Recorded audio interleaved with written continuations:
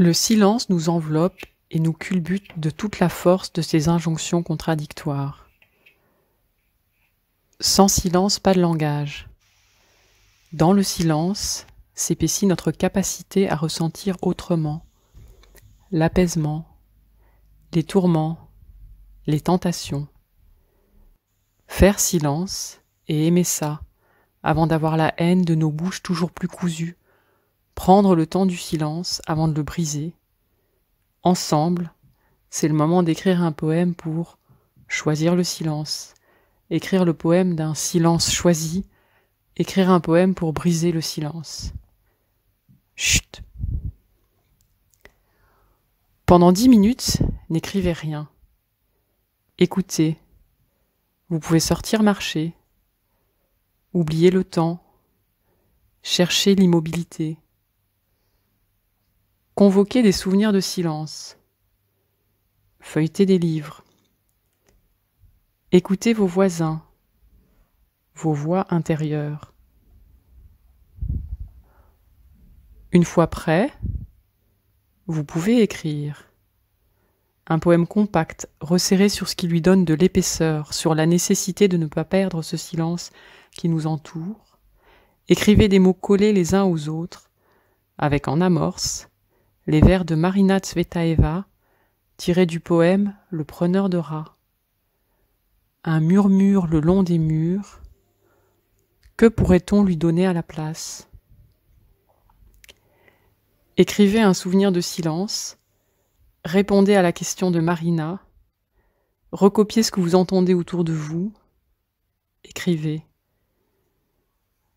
Posez-vous des questions, écrivez des questions qui n'auront pas de réponse. Avez-vous une activité qui vous apporte le silence? Comment avez-vous éprouvé le silence depuis les débuts du confinement? Êtes-vous des confinés du silence, confinés sans silence? Écrivez une liste de bruits, trouvez un rythme. Le silence, on peut le faire apparaître dans nos feuilles, en utilisant la technique poétique du poème à trous. Choisissez de montrer le silence ou pas. Le poème à trous spatialise les pauses entre les mots, mais ce n'est peut-être pas le silence que vous recherchez. Toute disposition permet d'envisager le silence dans ou autour du poème.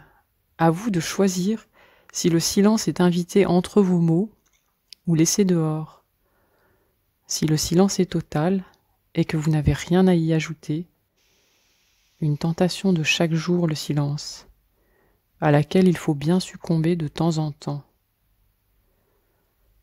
Vous pouvez vous mettre à la fenêtre et écrire ce que vous voyez. Vous pouvez vous réveiller à 5 heures du matin et écrire. Rien de plus chargé que le silence du matin, annonciateur d'un bruit à venir. Et maintenant, il est temps de briser le silence. Écrire des phrases qui décrivent quelque chose qu'on casse. Si vous êtes maladroit, vous pouvez écrire cela. Quelle maladresse est la vôtre Et si elle vous rend mal à l'aise ou pas du tout. Vous pouvez écrire une liste de bruits alternés. Vous pouvez répondre aux questions que vous avez posées. À quel moment voudriez-vous écouter le silence?